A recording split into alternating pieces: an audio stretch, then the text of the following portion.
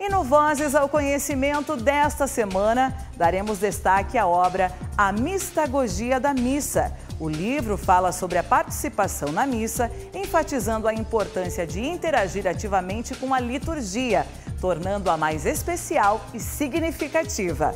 O nosso entrevistado será o seu autor, Frei Luiz Felipe Marques.